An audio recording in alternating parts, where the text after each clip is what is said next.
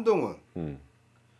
이분이 뭐 국힘의 대표로 나와야 된다 뭐 이런 이야기들이 지금 나오고 있어요 슬슬 나오고 있는데 어떻게 될 것 같아요? 정말 국힘에 누구 인물이 있어? 없잖아. 현재 한동훈만한 사람이 어디 있어? 그리고 국힘이 살려면 어떻게 보면 한동훈이라는 사람이 나와야 되는 거고 어찌 됐든 법무부 장관부터 지금 뭐 비례 긴급 뭐 비례위원장까지 했고 인물 이 사람밖에 없잖아.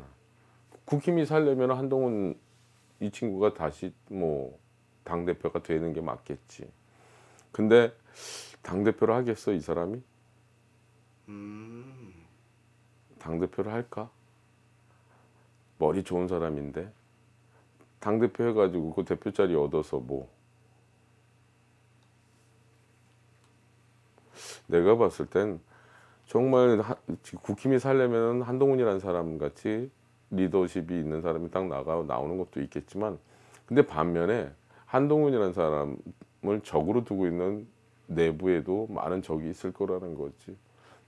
난 굳이 내가 봤을 때 총알바지로 나서려고 하지는 않을 것 같은데. 아 근데 그래요?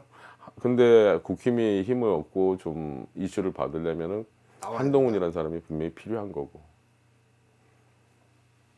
근데 굳이 총알 바지는 안 할 선택을 안 할 것 같아. 많이 당사자가 고민할 것 같죠. 엄청 고민하지. 근데 거기도 그냥 가만히 있는 게 훨씬 낫다.